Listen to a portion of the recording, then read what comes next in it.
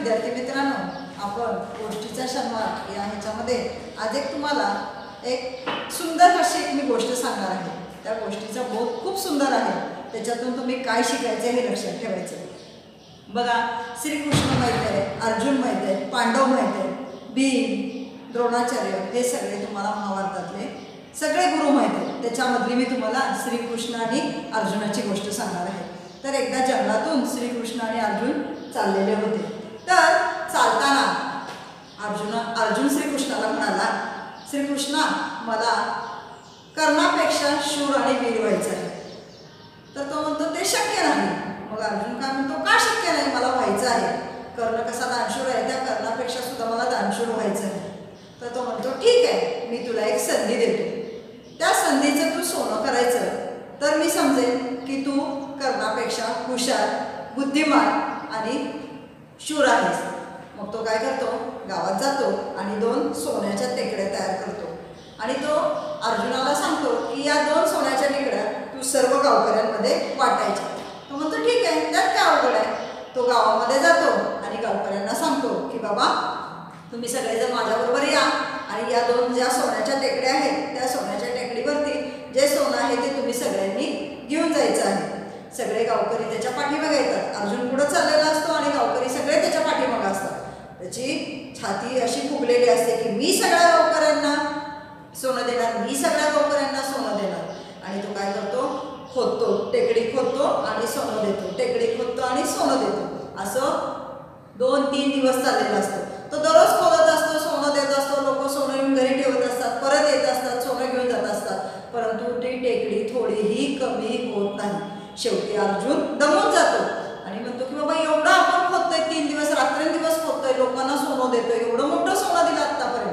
परंतु त्यातला टेकडीतला थोडा एवढा सुद्धा भाग कमी झाला नाही. त्याला शेवटी तो दमतो आणि श्रीकृष्ण म्हणतो बास बाबा आता मी काय सोनं देणार नाही बास झालं. मग तो काय करतो? कर्णाला बोलवतो आणि कर्णाला काय म्हणतो? की हे बघ ह्या दोन सोन्याच्या टेकड्या आहेत. तू या सोन्याच्या टेकड्या लोक म्हणजे गावकऱ्यांमध्ये हे सोनं ते वाटायचं आहे तो तो म्हणतो ठीक आहे त्यात काय अवघड आहे? तो काय करतो? गावात जातो. आणि गावातल्या लोकांना म्हणतो की ह्या दोन घेऊन येतो त्यांना सगळे त्या जंगलामध्ये सांगतो ह्या दोन सोन्याच्या टेकड्या आहेत कुणाला किती पाहिजे तेवढं तुम्ही सोनं घेऊन जा. तो सांगता आणि तो कर्ण निघून जातो. आणि लोक आपापल्या कामाला लागतात. ते बघून अर्जुनाच्या डोक्यामध्ये प्रकाश पडतो. अरे ही गोष्ट आपल्या लक्षात कशी काय नाही आली? कर्णाने तर दोन मिनिटात लोकांना सांगितलं की बाबा तुम्ही या टेकडीपाशी या आणि कोणाला पाहिजे तेवढं सोनं घेऊन जावा. आपण दोन तीन दिवस कष्ट करत बाबा ती टेकडी खोदायची आणि ते सोनं लोकांना द्यायचं. आणि त्यातनं काही संपलं नाही. म्हणजे ह्याचाच अर्थ असा होता की अर्जुनाला आपल्यामध्ये गर्व निर्माण होता की आपण सगळं करू शकतोय. आपल्याला सगळं येतंय. आपण कर्णापेक्षा हुशार आहोत दानशूर आहोत. दोघांनाही त्यांनी संधी समान दिली होती. ह्यालाही सोन्याच्या टेकड्या दिलेल्या होत्या त्यालाही सोन्याच्या टेकड्या दिलेल्या होत्या. परंतु अर्जुनाने काय केलं की स्वतः मी कुणाला काहीतरी देतोय हा त्याच्यामध्ये अहंकार निर्माण झालेला होता की मी कुणाला काहीतरी दान देतोय तर एक गोष्ट लक्षात ठेवायची आपण दिलेले दान किंवा आपण केलेलं कार्य हे कधीही उगाळत बसायचं नाही. की बाबा मी केलं मी केलं असं सांगायचं नाही. म्हणजेच ह्याच्यामधून एक चांगला बोध तुम्ही लक्षात घ्यायचं आहे की आपण जे कर्म करतो आपण ज्या काही चांगल्या गोष्टी करतो त्याचं फळ तुम्हाला नेहमी मिळत असतं. जसं कर्ण आणि अर्जुन याच्यामध्ये श्रीकृष्णाला माहीत होतं की कर्ण दानशूर आहे. कारण तो नावाप्रमाणेच उदार होता. म्हणून म्हणतात बघा दानशूर कर्ण. त्यांनी कधीही कुठल्याही गोष्टीची स्वतःसाठी अपेक्षा केलेली नाही. त्यांनी काही लोकांना देण्याचा विचार केलेला होता. जसं ह्या दोन सोन्याच्या टेकड्या त्यांनी लोकांना दिल्या की बाबा तुम्हाला जेवढं पाहिजे तेवढं घेऊन जावं त्याच्यामध्ये अर्जुनामध्ये थोडीशी लालसा निर्माण झाली की बाबा ह्यातला आपल्याला सोनं आपण देतो म्हणजे आपण काहीतरी खूप मोठं करतोय तसं करण्याच्या मनात अजिबात विचार नव्हता त्यांनी आपोआप लोकांना बोलवलं हे तुम्हाला जेवढं पाहिजे तेवढं घेऊन जावं असं सध्या म्हणजे आत्ताच्या काळामध्ये अशी भावना कुणामध्ये नाही. म्हणजेच तुम्ही ज्याप्रमाणे कर्म करता ज्याप्रमाणे तुम्ही कार्य करता त्याचं आपे त्याचं फळ तुम्हाला परमेश्वराकडून आपोआपच मिळत असतं. म्हणजे आपण केलेल्या कुठल्याही चांगल्या गोष्टीचा वो करायचं नाही की बाबा मी केलं मी केलं असं कधी म्हणायचं नाही.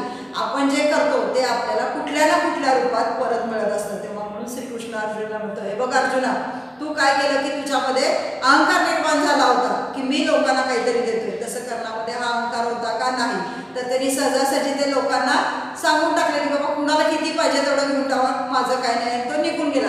लोक त्याची प्रशंसा करतात का निंदा करतात का आपल्या गुणाचं कौतुक करतात का? किंवा लोक आपल्याला चांगलं वाईट काय म्हणतात? याचं तो ऐकत बसला नाही. तुला काय पाहिजे होतं की लोक तुला चांगलं म्हणतील. लोक तिचं गुणगान गातील हे तुला पाहिजे होतं. आणि ह्या गोष्टी तू कधीही करू नकोस. ह्या गोष्टी तू तुझ्या मनातून काढून टाक. तुझा अहंकार तुझ्या मनातून काढून टाक. तरच तू कर्णासारखा दानशूर होशील. म्हणजेच की आपण ही जीवनामध्ये लक्षात ठेवायचं की आपण कोणतंही कार्य करत असताना चांगलं कार्य करायचं फळाची अपेक्षा करायची नाही. धन्यवाद.